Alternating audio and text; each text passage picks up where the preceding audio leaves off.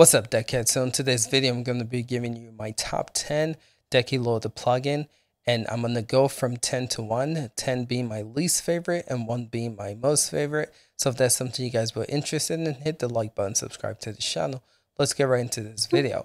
So making it to the 10 spot is Auto Flatpak and if you guys don't know what Auto Flatpak is, if you guys have flat packs that are in your desktop mode, you can come here and automatically update it. So as you can see here, these are the available updates for me. So instead of having to go to desktop mode to update your Flatpak, you can just come here and hit other update and it should update it. So I'm really loving this. As you can see here, these are all of the Flatpaks that I have that needs to update. And you can come here and you can just manage things. So would highly recommend this one for you guys. So at number nine is wicked? one that I call music control.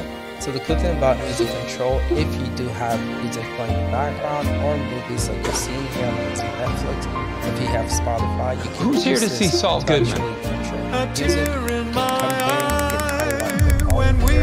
You can pause the music track and you can also rewind or fast forward. So the beauty about this is that instead of you having to leave, your music, you can just use the plugin and get right into it and then just release and get back to it. So for instance, you can hit play here and then hit this out. It's good for Spotify. You're the guy, right? I did a video showcasing how you can that? actually uh, play music and game at the same time using Spotify. So again, this plugin comes in clutch for that.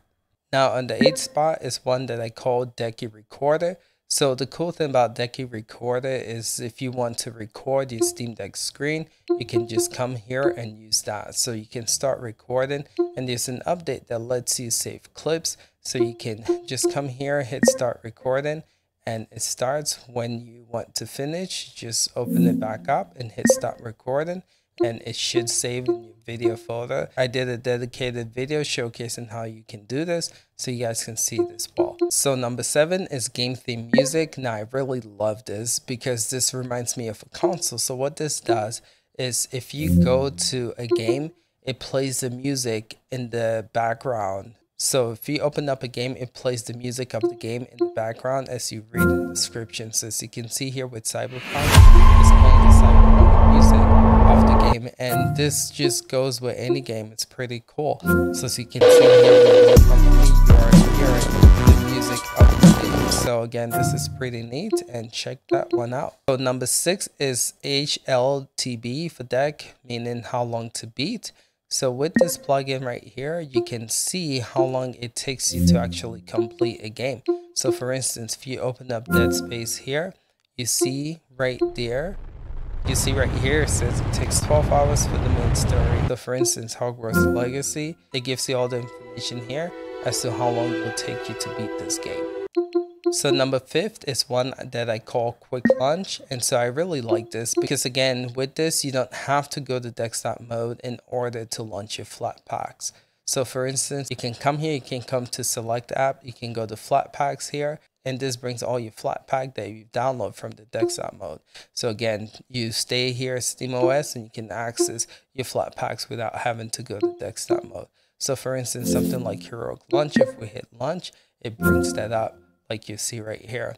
So this is pretty cool. Again, it saves you the hassle of having to go to desktop mode just to launch these Flatpaks. So at number four, we have Proton DB badges. And with Proton DB badges, it gives you information as to like the status of a game verified being gold as you can see the top left here so again it's a good way to know just how well some of these games are going to perform on the steam deck as well so again you have proton db badges at number four so i have to say filling up this top three was really difficult and challenging but hopefully you guys will agree with me with these plugins so the third being storage cleaner now, if you guys don't know what storage cleaner is, it's a good way to clear your cache.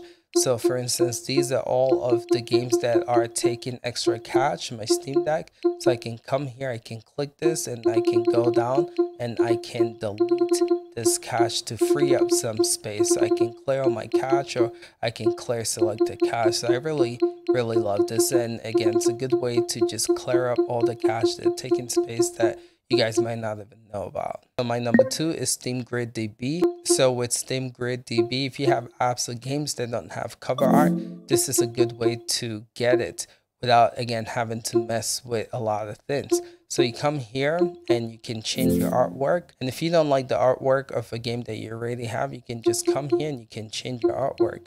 So again, it gives you a capsule, it gives you the white capsule, it gives you the hero logo, it gives you the logo, you see the icon, and then you can come here and you can manage all of it. So it's a good way to change your cover art on the fly, and it's a good way to get cover arts for those apps or games that might not have cover art. All right, so number one, I'm gonna give you guys a bonus. I'm actually putting two plugins here because these two plugins are plugins that I just cannot live without. So those plugins are Vibrant Deck and CSS Loader. So, so we'll start with Vibrant Deck. If you guys don't know what Vibrant Deck is, it's a good way to bring some colors to your Steam Deck. So for instance, I have my saturation set at 130 here this is what it looks like normal. I believe it's at, let's just say, I, I think it's at 80 or 100. But let's just go to 80 and showcase the difference here. So you see here, this is what it looks like at 80. And then watch what happens when I put it to 130, which I think is the sweet spot for this. But you'll see the colors pop out more. And I did a video showcasing this compared to Switch OLED and it makes a significant difference when it comes to colors pop. It might be hard to see it right here, but trust me guys, check out that video. I did, it works and it works really, really well. So my next number one is one that I call CSS Loader. And with CSS Loader, it's a good way to bring themes to your Steam Deck. And just to give you guys a heads up, by putting too much on this, it does kind of slow down your Steam Deck. So going with caution. I actually just wiped my whole Steam Deck. The CS load I believe was making it slow, but just want to highlight this. There's so much that you can choose from here. These are all the themes you can play with. I have a themes dedicated video. Check out that video. It gives you some highlight as to what you can do here. But man, you can just get this and install it and it just completely changes your whole Steam Deck and customizes it. All right, so you come here, you install it, check that out. So look at this, completely just changes the look of your Steam Deck. Again, go into this one with caution because it does slow down your Steam Deck a little bit, but look how cool this looks. All right, Deckheads, just want to showcase my top 10 Decky Loader plugins. Let me know in the comments below.